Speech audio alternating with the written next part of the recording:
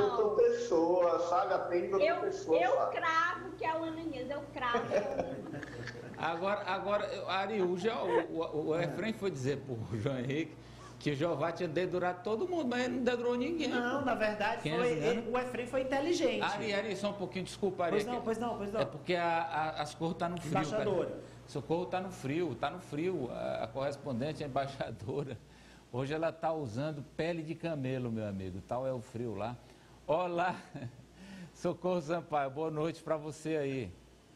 Hoje está difícil, Amadeu. Hoje está difícil. Boa tarde para você, boa tarde, Brasil. O Reino Unido começa a vacinar amanhã. A rainha Chegamos. está na, tá na fila? Provavelmente, Amadeu Palácio não confirma, eu vou falar isso daqui a pouquinho. Primeiro a gente vai dar detalhes dessa vacinação. O dia chegou que eu chego aqui para os nossos telespectadores para dizer que a vacinação começa amanhã no Reino Unido. Reino Unido nos preparativos finais para começar amanhã a vacinação contra a Covid-19. Quando a gente fala Reino Unido, lembrando Inglaterra, Escócia, País de Gales e a Irlanda do Norte. A Inglaterra, a vacina vai ser distribuída em 50 hospitais, na Escócia são 23 pontos de vacinação, na Irlanda do Norte a vacinação começa às 8 da manhã em dois hospitais e em mais centros de vacinação, ou seja, Irlanda do Norte, em dois hospitais a vacina vai ser administrada e em demais centros de vacinação pelo país. Esses centros vão funcionar 12 horas por dia, 7 dias por semana, que o governo da Irlanda do Norte quer, nessa primeira fase, vacinar aí por volta de 100 mil pessoas, entre idosos que trabalham, idosos que moram em abrigos para idosos, em, moram em lares, e também funcionários, trabalhadores da saúde e cuidadores.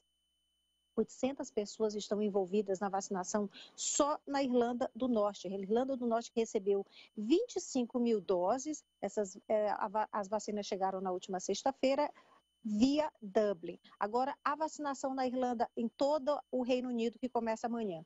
Primeiros que serão vacinados os idosos que vivem em abrigos e os funcionários dos abrigos, assim como os cuidadores. E na segunda fase são as pessoas com 80 anos ou mais, profissionais da saúde e assistência social da linha de frente contra o coronavírus. O porta-voz do governo, o porta-voz do governo Boris Johnson, diz que a maioria dos considerados vulneráveis, essa população mais idosa e trabalhadores da saúde junto com os cuidadores, devem estar vacinados até o final de março.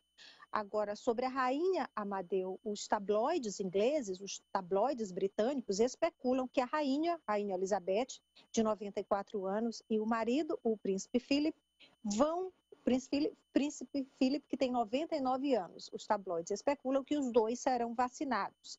O Palácio de Buckingham não confirma, disse apenas que essa é uma decisão médica pessoal e que eles não vão comentar sobre isso, mas a expectativa é que tanto a rainha quanto o marido sejam vacinados. Quando chegar a hora, não vai pular a fila. A rainha está na segunda categoria para receber a vacina, os acima de 80 anos.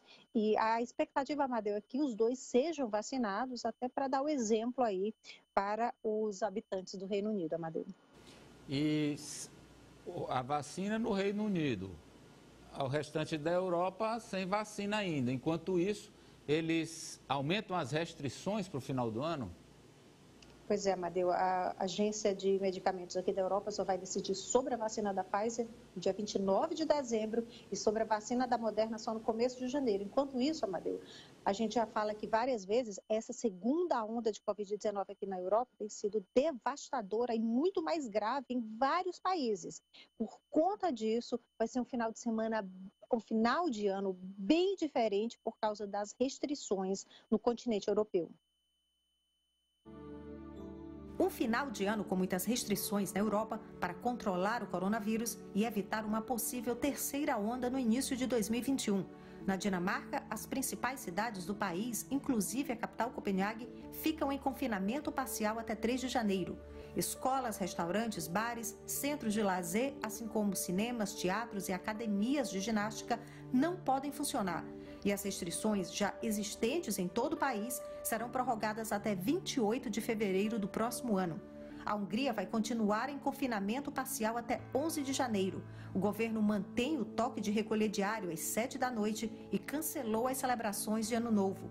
O coronavírus já matou cerca de 6 mil pessoas na Hungria, país com pouco menos de 10 milhões de habitantes. 90% das mortes ocorreram a partir de setembro.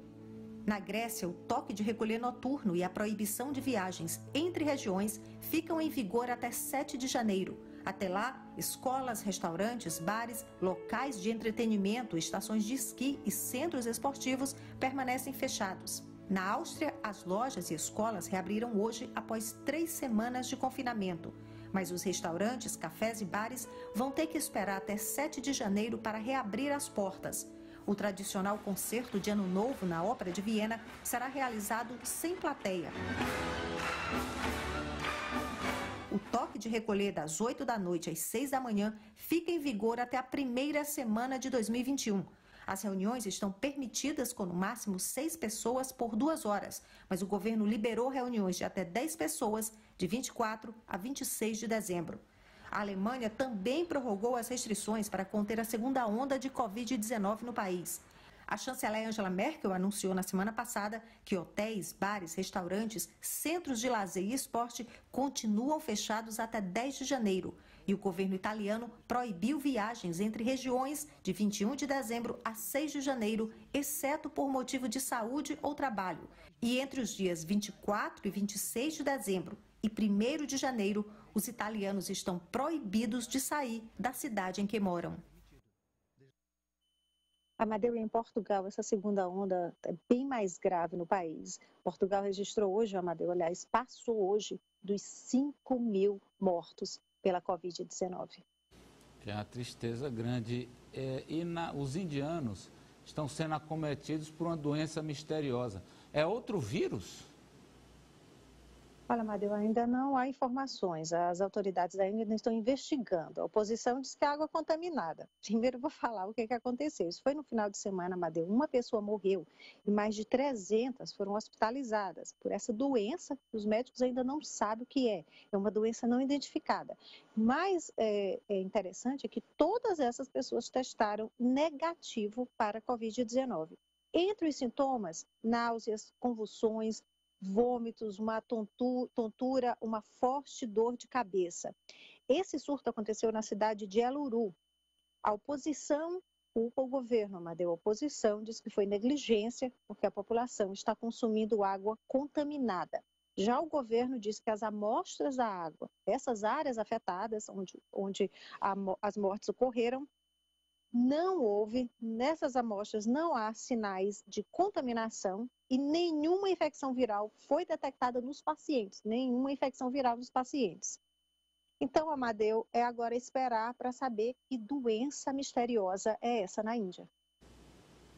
Meu Deus. Vamos falar agora de noivos protegidos. Que é também na Índia, Amadeu, e é muita vontade de casar. A cerimônia estava marcada, casamento marcado poucas horas, Amadeu, antes da cerimônia, a noiva testou positivo para a Covid-19. A noiva testou positivo para o coronavírus. Mesmo assim, pediram autorização das autoridades, as autoridades permitiram, mas presentes apenas o noivo e a noiva, como a gente vê aí, a pessoa que celebrou a, o casamento e apenas um convidado, apenas uma testemunha. E, claro, todos, porque a noiva estava com Covid-19, todos aí usando esse, essa roupa de proteção, Amadeu, equipamento de proteção. Pareceu, Socorro, um casamento em uma estação orbital da NASA, né? é vontade de casar, Amadeu. É vontade astronauta. de casar. Obrigado, Socorro. Boa tarde, até amanhã. Até amanhã. Olha, você está sem crédito para financiamento e deseja conquistar a sua independência da conta de energia, fale com a Solares. Solares Recursos Renováveis. Só a Solares disponibiliza financiamento para negativados através de boleto bancário, que pode ser dividido em até 24 parcelas. Preste atenção. Consulte a loja para simulação